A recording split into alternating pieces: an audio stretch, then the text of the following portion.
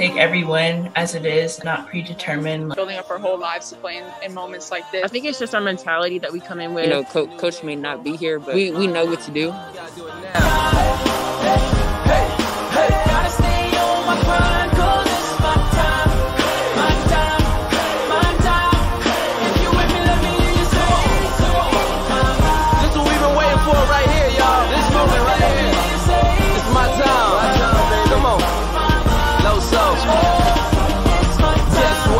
It is my, my, my time. You can check your iPhone, better say it's our time. I don't even need a watch, I don't even see a clock. Soon as I walk in, it feel like me a clock. Multiple people can step up at any given time. Really speaks volumes. We're just trying to enjoy it as much as we can. Whatever team handles this the best way is going to come out on top. Waiting for this whole year, made so many sacrifices. Everything matters. This is what is going to make it all worth it.